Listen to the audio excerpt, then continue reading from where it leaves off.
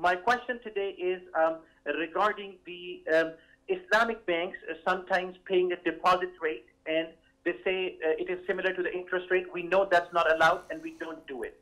But sometimes they're also coming up with this thing called a sukuk. It works like a normal bond. You give them money. If the company doesn't default, the company keeps paying you 4% every year. This is certified by a lot of Sharia advisors. So in this case, um, it looks very much like a conventional bond. Is this allowed or not? As a matter of fact, Ali, you brought up a very interesting matter which we all need, uh, need to discuss and discover together. You know, when the companion of the Prophet ﷺ, Wabisa ibn Ma'bad, walked into the Messenger of Allah and he wanted to inquire about what is uh, lawful and unlawful, what is righteous and what is evil.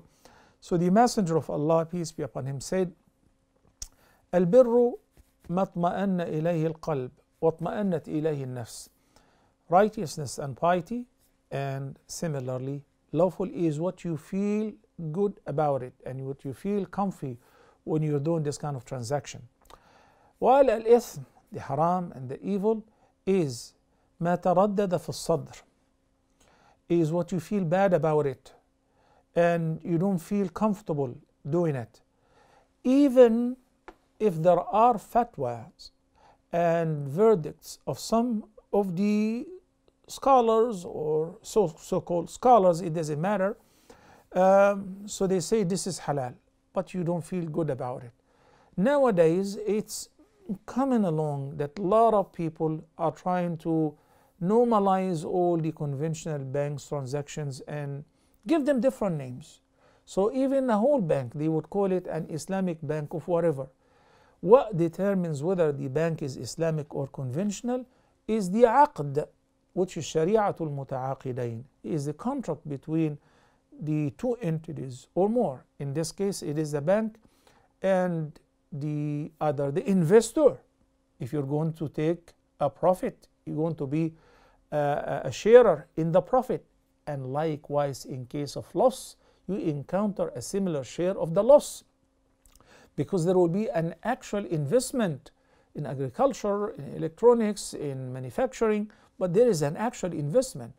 But when the bank, even if it is called an Islamic bank of whatever, of Mecca, of Medina, they take your money and they lend it to somebody else with an interest rate, let's say 15%.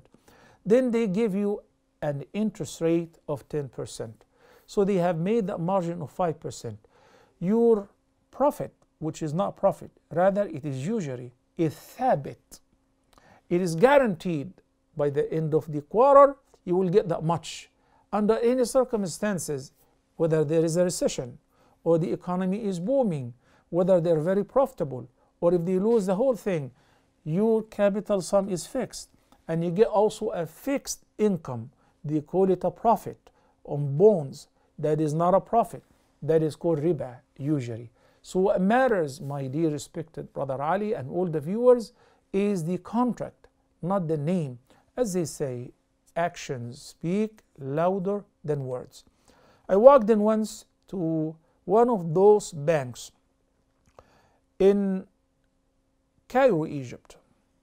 They opened a branch in our campus in Al Azhar University. Big sign. It says the Bank of whatever, the Islamic, the Islamic transaction branch. So I spoke to the manager and I said, Sir, you know, when you have this sign which says the Department of Islamic Transaction, by that you're acknowledging that the rest of the transactions that your bank is processing is not Islamic. Because when you're trying to sell me something and you say, this is for you guys because you are shuyukh, uh, you are religious people, so have an Islamic department or an Islamic segment. Inclusively, that indicates the rest is not Islamic and it's simply conventional and it is haram. While you keep day and night saying that there are some fatwas which says it's halal, halal, halal. But now, by your posting the sign, the department or the branch of Islamic transaction, you're assuring that the rest are not Islamic. So he smiled to me and he said, This is just for the sake of marketing, but by the end, all the money, whether your intention is to put it in an Islamic transaction or riba transaction, is deposited in the same bonds or uh, uh, sukuk, and uh, you get the same uh, profit. But to make you happy, so sometimes we give you instead of 10%, we make it 8%, then uh, 8.5 or 9% up and down. But you're not sharing any losses because we do not encounter any loss. We only lend money to people who borrow with guarantees and we take interest on that. It's as simple as that.